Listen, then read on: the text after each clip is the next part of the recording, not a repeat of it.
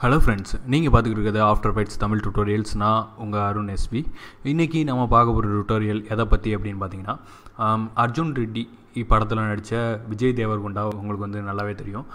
அவரோட அடுத்த படம் வேர்ல்டு ஃபேமஸ் லவர் அப்படிங்கிற படம் வந்து இருக்குது அதோட டைட்டில் அனிமேஷன் எப்படி பண்ணுறதுங்கிறது தான் இன்றைக்கி நம்ம பார்க்க போகிறோம் வாங்க இதுதான் வந்து ஃபைனல் ரிசல்ட்டு இந்த வீடியோ வந்து இந்த அனிமேஷன் எப்படி பண்ணுறது அப்படிங்கிறத இன்றைக்கி டுட்டோரியலில் நம்ம பார்ப்போம். வாங்க. ஃபஸ்ட்டு நியூ ப்ராஜெக்ட் ஓப்பன் பண்ணிக்கிறேன். நெக்ஸ்ட்டு இந்த ப்ரீசெட் வந்து நான் ஹெச்டியில் கொடுத்துக்கிறேன். ஹெச்டி டிவி டுவெண்ட்டி ஃபோர் கொடுத்துக்கிறேன். ஓகே இப்போது ரைட் கிளிக் பண்ணி நியூவில் டெக்ஸ்ட் லேயர் வந்து நான் க்ரியேட் பண்ணிக்கிறேன். டெக்ஸ்ட் லேயர் வந்து வேர்ல்டு ஃபேமஸ் லவர் அப்படிங்கிறது தான் டெக்ஸ்ட்டு அதில் வேர்ல்டு ஃபேமஸ்ங்கிறத ஃபஸ்ட்டு நம்ம டைப் பண்ண போகிறோம் வேர்ல்டு எஃப்ஏஎம்ஓயூஎஸ் இது ஏன் தெரில அப்படின்னா இது வந்து பிளாக் கலர் டெக்ஸ்ட்டு இப்போது ரைட் கிளிக் பண்ணி நியூ சாலிட் கொடுத்துருங்க. கொடுத்துட்டு இது இங்கே வச்சா ஃபுல் ஒயிட்டு கொஞ்சம் நம்ம கம்மி பண்ணிக்கலாம். இங்கே வச்சிங்கன்னா ஒரு கிரே மாதிரி கலரில் கிடைக்கும். இந்த ஒயிட் வச்சுக்கோங்க. ஓகே இது வந்து பேக்ரவுண்ட் லேயர் இதை வந்து பின்னாடி வச்சாச்சு. இப்போ வேர்ல்டு ஃபேமஸ் அப்படிங்கிறது வந்து கிடச்சிருச்சு. நான் யூஸ் பண்ணியிருக்கிற ஃபாண்ட் வந்து பார்த்தீங்கன்னா மான்சரட்டுன்னு ஒரு ஃபாண்ட்டு அது ஃப்ரீயாகவே கிடைக்கும். உங்களுக்கு டிஸ்கிரிப்ஷனில் இந்த தடவை மறந்துடாமல் நான் வந்து டிஸ்கிரிப்ஷனில் நான் கொடுக்குறேன். நீங்கள் பார்த்து டவுன்லோட் பண்ணிக்கலாம். இப்போது இந்த மான்சரட்டில் வச்சு வச்சுக்கிட்டேன். இப்போது இதோட சைஸை வந்து நான் அந்த படத்தில் வர மாதிரி கொஞ்சம் கூட்டிக்கிறேன். இந்த அளவு வச்சுக்கிறேன்.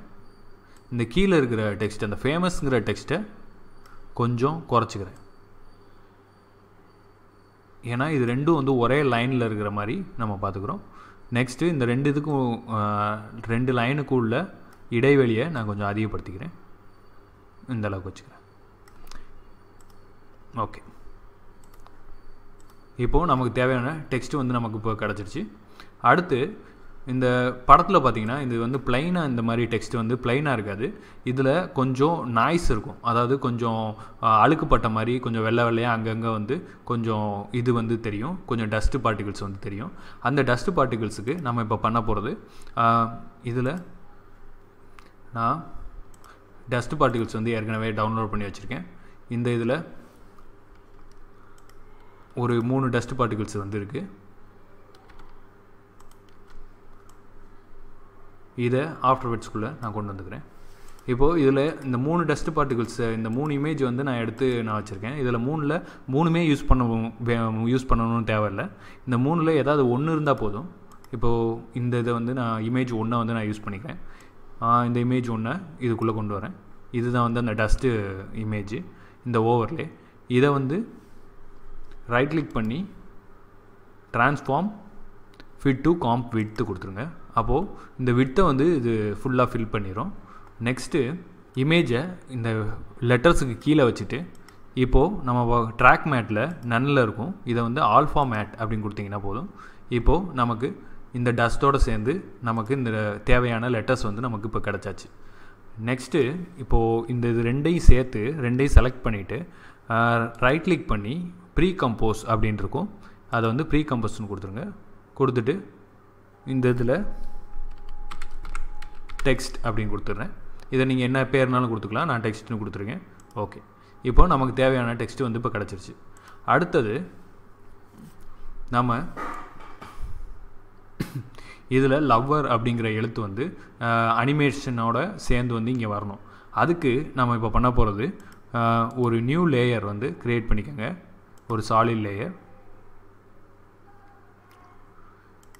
white two white solid டூன்னு இருக்குது இது நமக்கு இப்போதைக்கு தேவையில்ல.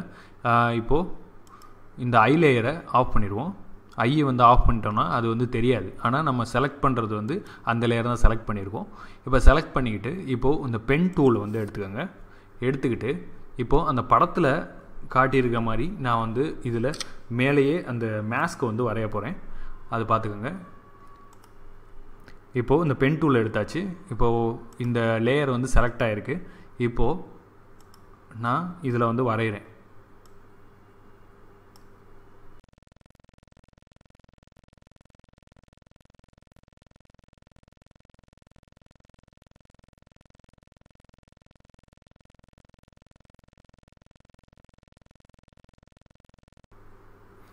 இந்த மாதிரி டெக்ஸ்ட் வந்து டெக்ஸ்ட்டோட பாத்து வந்து நான் வரைகிறேன் நெக்ஸ்ட்டு இது ஒரு பாத்து அதுக்கப்புறம்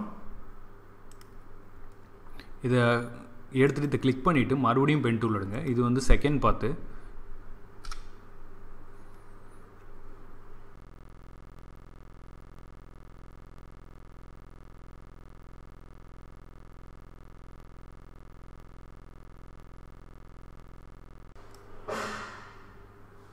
இந்த மாதிரி பார்த்து வந்து நம்ம வரைஞ்சாச்சு.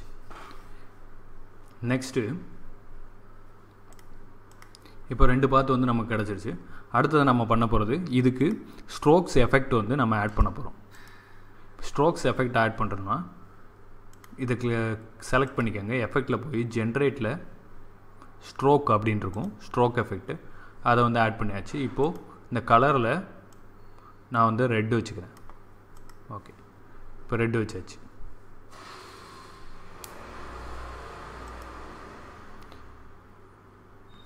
இப்போது இதோட கலரை ப்ரஷ் சைஸ் கொஞ்சம் கூட்டிக்கிறேன். ஒரு சிக்ஸில் வச்சுருக்கேன். அடுத்தது இந்த ஸ்ட்ரோக் வந்து சிக்ஸ் வச்சுருக்கேன்.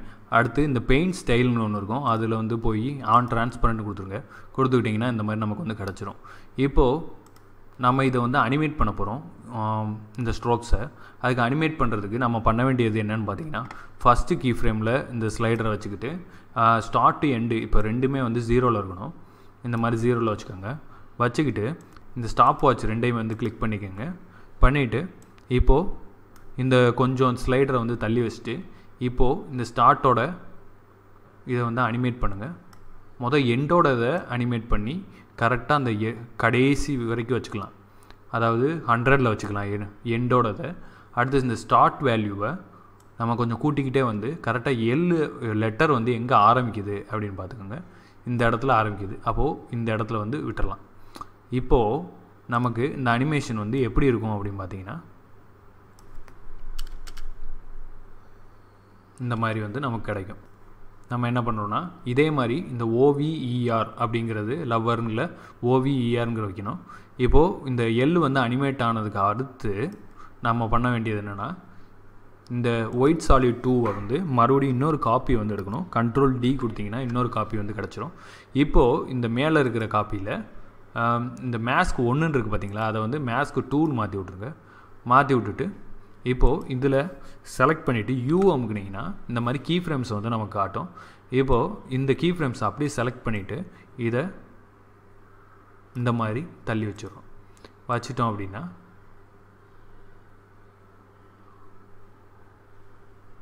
இது நமக்கு இப்படி கிடைக்கும். இதில் இந்த ஸ்டார்ட் அப்படின்ட்டு இருக்கும். இப்போ இந்த ஃபஸ்ட்டு மேலே இருக்கிற இந்த லேயரில் இந்த ஸ்டார்ட்னு இருக்கிறதுல மட்டும் கீ ஃப்ரேமை வந்து நம்ம எடுத்து விட்டுட்டோம் அப்படின்னா இப்போ இந்த ஸ்டார்ட் லொக்கேஷன் வந்து அனிமேட் ஆகாது. அப்போது நமக்கு வந்து இப்போ அனிமேஷன் எப்படி இருக்கும்னு பார்த்தீங்கன்னா இந்த மாதிரி நமக்கு கிடச்சிரும்.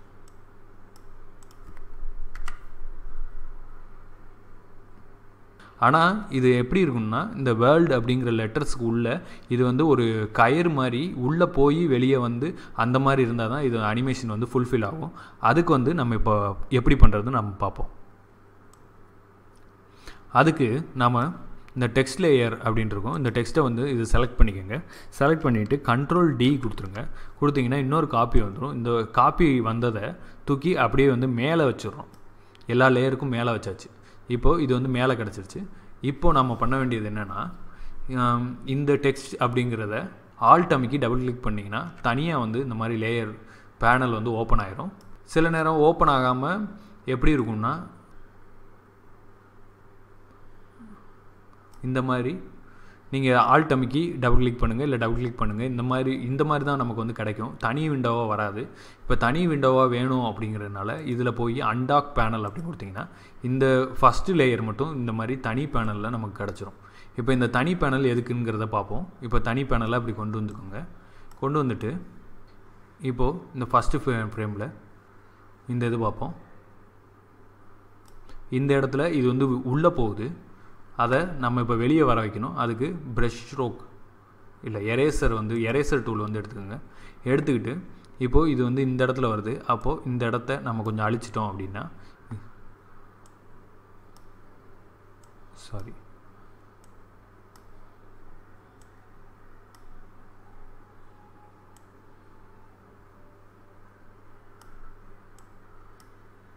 இந்த மாதிரி நாம் இந்த மாதிரி அழிச்சு விட்டோம் அப்படின்னா உள்ளேருந்து வெளியே வரும். மேலே வந்துடுச்சு மேலே வந்துட்டு இப்போது இது வந்து மேலே வரணும். அப்போது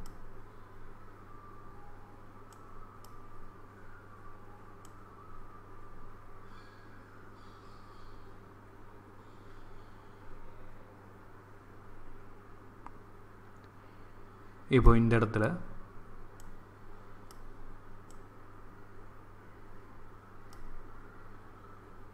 இந்த மாதிரி வச்சாச்சு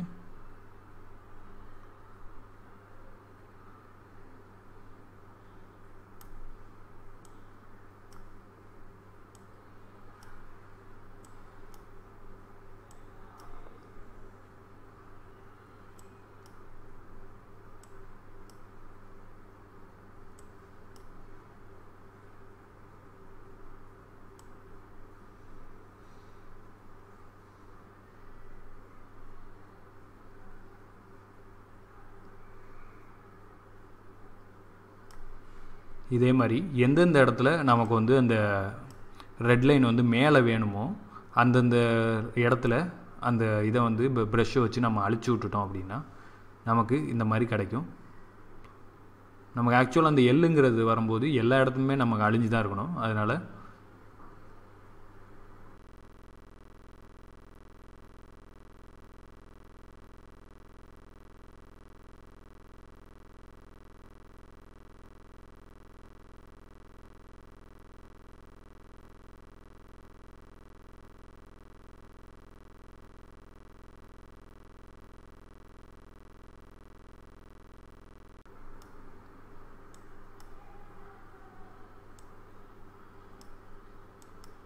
இப்போது இந்த ஃப்ரேம்ஸை கொஞ்சம் நம்ம இழுத்து விட்டுக்கலாம்.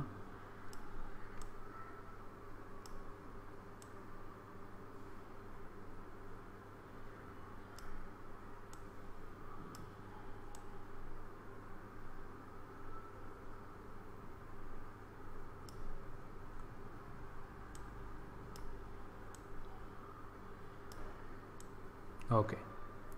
இப்போது நமக்கு மொத்தமாக பார்க்கும்போது இந்த அனிமேஷன் வந்து கம்ப்ளீட் ஆயிடுச்சு அவ்வளோதான் நெக்ஸ்ட்டு இதை வந்து நான் க்ளோஸ் பண்ணிக்கிறேன். இது வந்து பெயிண்ட் ப்ரஷ்ஷோட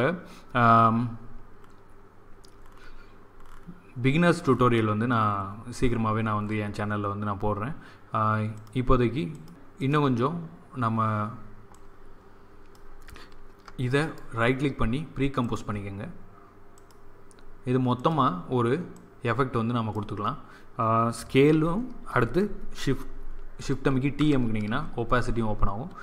இதை அனிமேட் நம்ம இப்போ பண்ண போகிறோம் ஃபஸ்ட்டு வந்து ஸ்கேல் ஹண்ட்ரடில் இருக்குது ஒப்பாசிட்டி வந்து ஜீரோவில் வச்சுக்கிறேன். வச்சுக்கிட்டு ஸ்டாப் வாட்சை கிளிக் பண்ணிக்கிறேன். இப்போது ஃபுல் இதில் வச்சுட்டு இப்போ ஸ்கேல் வந்து ஒரு ஒன் டென்னில் வச்சுக்கிறேன். ஒப்பாசிட்டி ஹண்ட்ரடு இப்போ இந்த ஒப்பாசிட்டி ஹண்ட்ரடுங்கிறது இங்கே இருக்குது இது ரெண்டையும் செலக்ட் பண்ணிவிட்டு எஃப் நைன் கொடுத்துங்க எஃப் நைன் கொடுத்துட்டு இதை கொஞ்சம் நான் பக்கத்தில் வந்து கொடுத்துக்கிறேன். சாரி இதை கொஞ்சம் பக்கத்தில் வந்து நான் கொடுத்துக்கிறேன். ஏன்னா அந்த ரிவீல் அனிமேஷன் ஃபாஸ்ட்டாக இருக்குது ஓகே அவ்வளோதான் நமக்கு இப்போது இந்த அனிமேஷன் முடிஞ்சு இந்த டுட்டோரியல் உங்களுக்கு பிடிச்சிருந்தா லைக் பண்ணுங்கள் ஷேர் பண்ணுங்கள் சப்ஸ்கிரைப் பண்ணுங்கள் அதுக்கப்புறம் இந்த சேனலுக்கு வந்து நீங்கள் டொனேட் பண்ணணும்னு நினச்சிங்கன்னா இங்கே காமிக்கிற யூபிஐயில் நீங்கள் வந்து டொனேட் பண்ணலாம். இது நான் அடுத்து போட போகிற டுட்டோரியல்ஸுக்கு எனக்கு ரொம்ப ஹெல்ப்ஃபுல்லாக இருக்கும். மீண்டும் ஒரு நல்ல டுட்டோரியலில் சந்திப்போம். பாய்